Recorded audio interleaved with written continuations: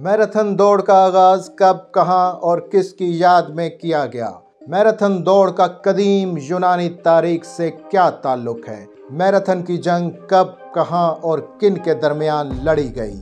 फिडेबिडीज कौन था और मैराथन की जंग में उसका क्या नुमाया किरदार था? ये सब जानिए द मीडिया फ्रंट की इस वीडियो में। मैराथन लंबे फासले की दौड़ है। जिसमें कुल बयालीस इशारिया एक सौ पचानवे किलोमीटर, यानी छब्बीस इशारिया दो मील का फासला तय किया जाता है। हालाँकि, मैराथन दौड़ का कदीम यूनानी तारीख से गहरा ताल्लुक है, मगर सात सौ छिहत्तर कबलस मसीह से तीन सौ तिरानवे बादज मसीह तक कदीम यूनानी खेलों में लंबे फासले की दौड़ों का तस्करा नहीं मिलता। पहली मुनज़म मैराथन दौड़ का आगाज़ अठारह सौ छियानवे में यूनान के शहर एथेंस में मुनद होने वाली जदीद ओलंपिक्स खेलों से होता है। ये यूनान में तकरीबन 1500 साल खेलों की बंदिश के बाद जदीद खेलों के दौर का आगाज़ था। जदीद ओलंपिक्स खेलों के मुंतजमीन एक ऐसे इवेंट के इनका के बारे में सोच रहे थे, जो कदीम यूनान की शान शौकत की याद को ताज़ा कर सके। ऐसे में मैराथन जंग में फिडिपिडीज के किरदार से मुतासर होकर मैराथन दौड़ का ख्याल मिशेल ब्रेल के जैन में आता है। और इस आइडिया की जदीद ओलंपिक्स का बानी पेरिडिकोपर्टाइन और यूनानी लोग तायद करते हैं। और यूँ फेडेबिडीज की याद में पहली मैराथन दौड़ का आगाज़ होता है, जिसका कुल फासला 40 किलोमीटर यानी 25 मील रखा जाता है। अगले कुछ सालों तक मैराथन दौड़ का फासला 25 मील ही बरकरार रहता है, मगर 1908 के लंदन गेम्स में फासला बढ़ाकर छब्बीस इशारिया दो मील कर दिया जाता है और 1921 में मैराथन दौड़ का फासला बाकायदा तौर पर बयालीस इशारिया एक सौ पचानवे किलोमीटर यानी छब्बीस इशारिया दो मील तय कर दिया जाता है।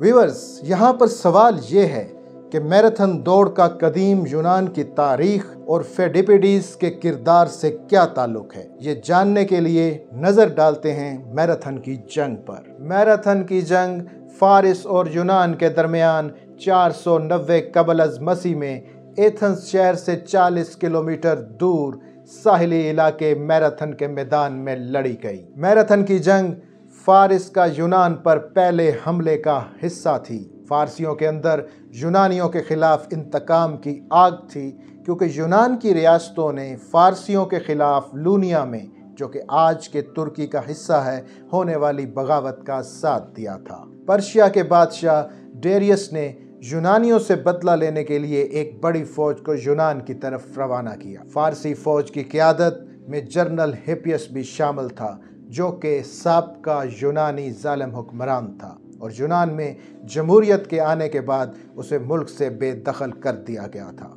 यूनानी शहरी रियासत इरिटेरिया को शिकस्त देने और जलाने के बाद फारसी फौज ने एथेंस का रुख किया और जनरल हेपियस की क्यादत में समंदरी रास्ते से होती हुई बहरी बेड़ों पर सवार फारसी फौज एथेंस से 40 किलोमीटर दूर साहिली इलाके मैराथन के मैदान में पहुँची और वहाँ पे फारसी फौज ने पड़ाव डाला। फारसियों को नज़दीक आते देखकर यूनानियों ने एक पैगाम रसा स्पार्टा भेजने का फैसला किया कि स्पार्टन से फारसियों के खिलाफ जंग में मदद ली जाए।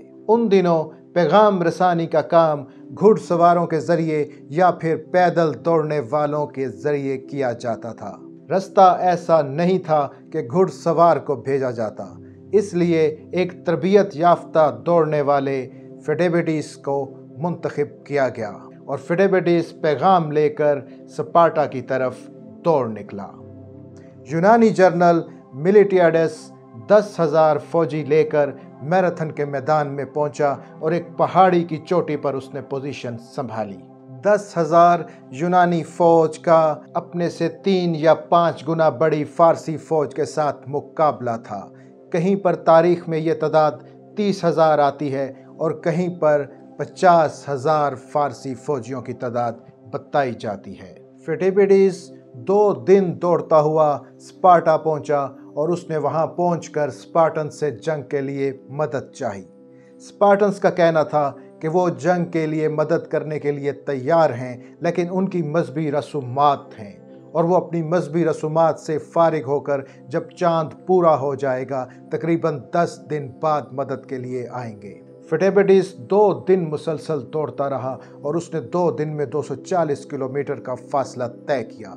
लेकिन स्पार्टन से मायूस होकर वो दोबारा वापस एथेंस की तरफ़ दौड़ा और एथेंस पहुंचकर उसने स्पार्टन्स का जवाब दिया और फिर वहाँ से 40 किलोमीटर दौड़कर मैराथन के मैदान में पहुँच गया। जनरल मिलिटियाडस ने यूनानी फौज को एक हमत अमली के तहत तीन हिस्सों में तकसीम किया। दरमियान का हिस्सा और दाएँ और बाएँ के विंग। उसने दरमियान के हिस्से को नस्बता कमज़ोर रहने दिया और दाएँ और बाएँ के विंग को मज़बूत बनाया। दिन बाद फारसियों ने अपनी फ़ौज को तकसीम किया और बीस हज़ार फ़ौजियों को दोबारा बहरी बेड़ों की तरफ़ भेज दिया।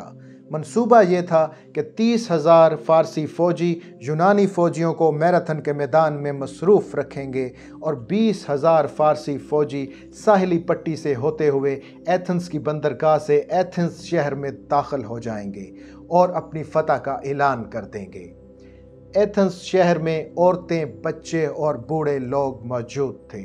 जनरल मिलिटियाडस ने औरतों को ये हुक्म दिया था कि अगर यूनानियों को फारसियों के खिलाफ शिकस्त हो गई तो तुम खुदकुशी कर लेना। जनरल मिलिटियाडस फारसी फ़ौज की इस गैर मामूली तब्दीली को भाप गया और उसने फारसी फ़ौज पर हमला करने में पहल कर दी। यूनानी फ़ौज के दरमियानी हिस्से से 200 मीटर के फासले पर फारसी फ़ौज के तीर अंदाज मौजूद थे। यूनानी फ़ौज के दरमियानी हिस्से को पेश कदमी के दौरान तीरों की बारिश का सामना करना पड़ा। जनरल मिलिटियाडस ने अपनी फ़ौज को आखिरी सौ मीटर भाग कर फारसी फ़ौज की तरफ़ जाने का हुक्म दिया और यूँ यूनानी और फारसी फ़ौजें आपस में टकरा गई और घुमसान की जंग का आगाज़ हुआ। हमत अमली के तहत यूनानी फ़ौज ने अपनी दरमियानी हिस्से को कमज़ोर रखा था और आहिस्ता आहिस्ता यूनानी फ़ौज का दरमियानी हिस्सा पीछे हटने लगा और फारसी ये सोचने लगे कि वो जीत रहे हैं। लेकिन जनरल मिलिटियाडस की हमत अमली और थी और दाएँ और बाएँ जानब के विंग्स पे जो फ़ौज मौजूद थी, उन्होंने पर्शियन फ़ौज को, फ़ारसी फ़ौज को घेर लिया और इस तरह फ़ारसी फ़ौज बेबस हो गई और वापस अपने बहरी बेड़ों की तरफ़ भागने लगी। इस लड़ाई में फ़ारसी फ़ौज के कोई लगभग चौंसठ सौ फौजी मारे गए और यूनान के सिर्फ़ एक सौ बयानवे। फारसी फौजी भागकर बहरी बेड़ों पर सवार होने लगे। अब जनरल मिलिटियाडस को ख्याल आया कि वो जो फौज का हिस्सा पहले बहरी बेड़ों पर निकल गया है, वो एथेंस शहर पहुँच जाएगा। और अगर वो वहाँ पहुँच गया तो उसने अपनी औरतों को ये कह रखा था कि अगर यूनानियों को फ़ारसियों के मुकाबले में शिकस्त हो जाए तो तुम खुदकुशी कर लेना। फ़ारसी फ़ौज को एथेंस शहर में देख कर वहाँ के लोग ये तस्वर करेंगे कि यूनानियों को शिकस्त हो गई और वहाँ की औरतें खुदकुशी कर लेंगी। एक दफ़ा फिर फेडेबिटिस की खिदमत को लिया गया कि बहुत जल्द ये पैगाम एथेंस शहर में पहुँचाना था कि यूनानियों को फ़तह मिल गई। टीपीडीज़ जंग की फतह का पैगाम लेकर दौड़ता हुआ एथेंस शहर की तरफ़ रवाना हो गया। उसने अपने हथियार गिरा दिए। उसने अपने कपड़े तक उतार दिए कि जितना हो सके अपने आप को हल्का कर सके। फेडिबिटीज़ ने दौड़ते हुए 40 किलोमीटर, यानी 25 मील का फासला तय किया और एथेंस शहर पहुंचकर वो ज़ोर से चिल्लाया कि we have won joy to you हम जीत गए हैं। ये कहने के बाद उसकी जान निकल गई और उसकी मौत वाक़ हो गई।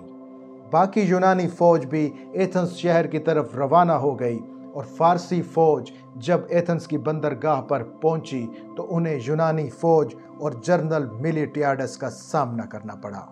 फ़ारसी फ़ौज ने मज़ीद जंग से इजतनाब किया और वो वापस लौट गई। फिर डेबिडीज़ की खिदमत को सराते हुए कि जो उसने दौड़ते हुए एथेंस से सपाटा तक का सफ़र किया और फिर सपाटा से वापस दौड़ते हुए एथेंस आया और फिर एथेंस शहर से दौड़ते हुए मैराथन के मैदान जंग में आया। उसने जंग लड़ी और फिर जंग की फतह की खबर लेकर दोबारा मैराथन के मैदान से दौड़ता हुआ एथेंस शहर आया। इन खिदमात को सराहते हुए मैराथन दौड़ का आगाज़ किया गया। फेडेबिडीज़, जो जंग की फतह का पैगाम लेकर एथेंस शहर में आया, वो बड़ी अहमियत का हामिल है।